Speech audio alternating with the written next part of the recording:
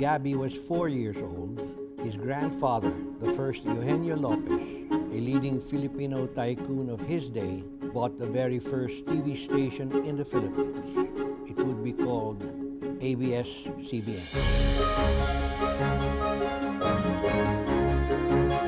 To run it, he tapped the second Eugenio, Geny Lopez, Gabby's father.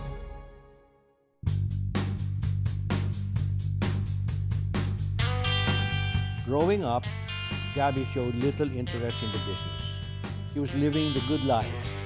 He was rich, handsome, high-spirited, mischievous, sometimes brash, and prone to trouble. A wild horse whose only media ambition was to be a disc jockey at the local radio station. His father Geny tamed the firebrand, yanked off his privileges when his grades slipped, gave him an old Ford Fiera when his friends had sports cars, and even had him sleep in a room under the stairs to teach him that nothing was going to be served up to him in a silver platter. The more his father tried to tame him, the better he learned to let his mind fly and soar. To him, the future would always hold so much more than today. I signed Proclamation number 1081, placing the entire Philippines under martial law. Martial law was declared. The dictator threw his father and me in jail, and he had by then turned ABS-CBN into the biggest TV radio network in the country. Marcos stripped all their businesses from them. We were in jail for five years on baseless charges. Gabby himself was in jail too for a brief time, also on false charges, forcing his mom, Chita, to be strong for her two Eugenios behind bars. Even the first Eugenio was captive, forced into exile abroad. In one fell swoop, the name Eugenio was cursed. But then there was the great escape. In a daring midnight run, planned by his uncle Steve Psinakis and Geny's best friend Jake Almeda Lopez, Geny and I crawled out of our prison cells through the cover of darkness to where Gabby and his brother Rafi waited to smuggle us out of the military camp. We were all risking our lives, but we made it. Gabby later said, I don't think I would have given any thought to failing or getting caught or getting shot. It was just something we were going to do. Being rendered powerless by the dictator, he learned to be fearless. He spent almost 10 years in exile. He went to Harvard Business School, got a job in Crocker National Bank, a wife, and two children. All the time waiting for the right moment. When the time finally came, Gabby returned to the Philippines in 1986 to be at his father's side in the fight to recover what had been lost. Yet, his father would not let him in easy. He was put under the ringer, castigated in front of other executives, and driven harder than the rest. He even had to take a pay cut. And at one time, when he stayed in a luxury hotel on a business trip, his father had the expense deducted from his salary. This school of hard knocks only made Gabby even more driven. He wanted to grow bigger, faster, beyond his father's television and radio platform.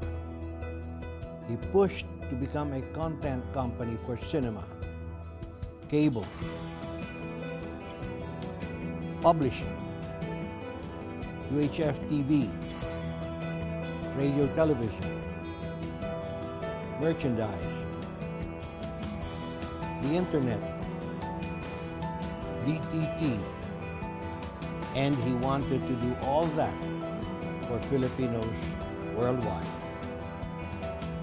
It was in 1994 when Geny finally decided Gabby was fit to become ABS-CBN President and CEO.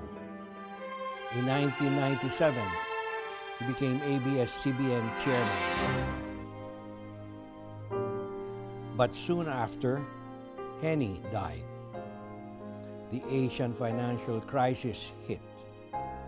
Production costs skyrocketed, and a drastic drop in TV ratings sent the company on a tailspin. Amidst the spiraling confusion, his second marriage broke up, and the horror of a stampede threatened to take away all that had been given. We deeply regret the unfortunate incident that occurred this morning in Ultra. Unfortunately, thousands upon thousands of people flocked upon Ultra and created a very tragic accident. And then the turning point. In the darkest hour, he found his voice. He held himself accountable. 79 of our countrymen passed away.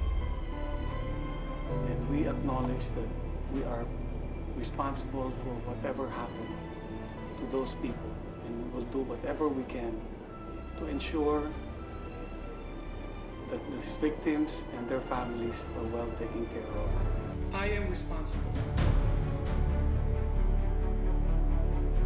At that moment, for many of ABS-CBN, he became the only Eugenio Lopez that mattered.